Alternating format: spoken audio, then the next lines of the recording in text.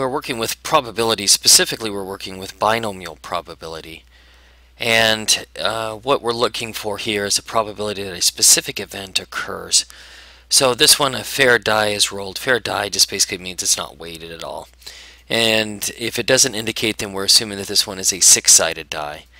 But this fair die is rolled 10 times. We're trying to find the probability that exactly two rolls, two of those, are sixes. So it's going to roll a 6 exactly two times. Not more than two, not less than two, but exactly two. Okay, so we're trying to find this, and the way that we'll use this, we'll use our binomial uh, probability formula. And then here is our binomial probability formula. It's got some, as you can see, it's got a combination here. P and R, Q and N and R. So we know what N and R, uh, what those two different ones are. Now, the n obviously is the total number that we have. In this case, it's going to be 10. The r are going to be the successes that we have, and that would be, excuse me, how many times we're going to choose it, which would be, in this case, it'll be 2. We're going to have two rolls that are sixes. p in this case, um, and when we're dealing with anything with the binomial formula, p is our successes. What's the probability of our success? And then q is the um, probability of failure. Okay, so let's kind of go through one here. We got to kind of fill out, fill out some information here. P and Q, let's identify those first off. So P is if we actually roll a 6, that would be considered a success. And Q would be if we don't get a 6, that would be considered a failure. Now we remember that we're wanting exactly two of these 6s. And um, so we need to figure out what the probability of actually, actually rolling a 6 on a 6-sided die is. As well as we need to identify what our N and our R R. Now we've got uh, R is the number of successes that we're going to have. In this case, it'll be two. Two successes. And the N would be our total number of rolls. We're going to roll it 10 times. So 10 rolls, two successes. And now what we're going to do is take this formula and start filling out the information that we know. Probability of R successes in N trials. Let's kind of out, figure out what we want. We want to have a probability of getting exactly two sixes. So getting 6, but we're going to find it exactly two times. So first we're going to pull in our combinations formula here. And our combinations formula is right here, n factorial over r factorial, n minus r factorial. But we know what our n's are. Our n's are 10, so we're going to fill those in now. n is just 10. And we know what our r is. r is 2, so I'm going to fill it in for both of these two r's. Okay, now we're going to have to determine what our probability is, P. The probability of getting a 6. Um, if you roll a die, that's 1 sixth. So we're going to multiply that by the probability, which is 1 sixth. Raised to a certain power, we'll get to that in just a moment. But first, let's find our probability of failure. If you, The probability of not getting a 6 is basically 5 sixths. And we can identify that by going 1 minus whatever this probability is. 1 minus 1 6 would just give us 5 6. So we've got 5 6 here. Now we can start filling out some more information here. R, we've already determined that R is 2, so I'm going to fill that in right here. That means that we're going to have exactly two of these successes, exactly two rolls or sixes.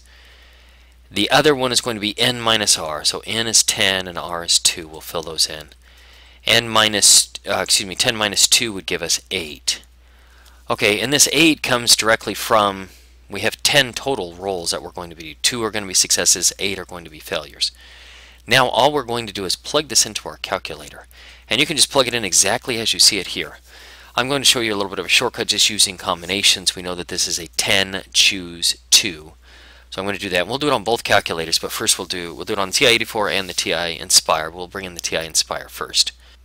Okay, on the TI Nspire, we can go to Menu, Probability, Combinations, um, you can also just type in, we'll show you one other way to do it as well.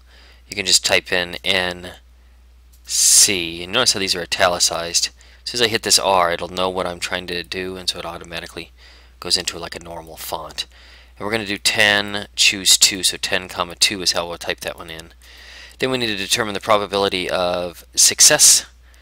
Success is 1 sixth squared, there are two of them, so 1 sixth, so I just typed that in pretty much like you see it here uh, 1 sixth, we'll move it over, we're going to square that one, times 5 sixths, 5 divided by 6th, 5 divided by 6. This one's going to be raised to the 8th power. And then you just simply hit enter here, and this one asks us to round it to the nearest five decimals. We're going to do that. One, two, three, four, five. 29.29071 should be our answer here. 0.29070 is what I've got here. So let's pull back here and make sure. No, 071 is what it should be. So let's change that. There we go. So that, that should be the correct rounding there. Now let's bring in our TI and uh, TI-84. We're going to type that in pretty much like you see here. I'm going to show you the shortcut there as well. This is going to be a 10. We go to math. Over here on probability is what we're looking for. So that means we're going to go over. It'll be the fourth option, probability. Now right here, the third one is our um, combinations. So we're going to see. We're going to select option number three. Go down here. There we go. Just hit enter. 10 choose, and then we'll just type in 2. From here, we're going to type in the rest of it just exactly like we see it here. This is 1 sixth squared. Okay, times 5 sixths raised to the eighth power. We just hit enter, and here it gives our formula, or here it gives our answer right here. Remember, we've got to round it to nearest five decimals, 0.29071, is, which is what we've got here. Okay, and that's pretty much it. It's just making sure that you can plug in P and Q are going to be the big ones. We need the probability of our successes, and Q is the probability of our failure. Um, we just basically type it into the calculator and it will spit out the answer for us.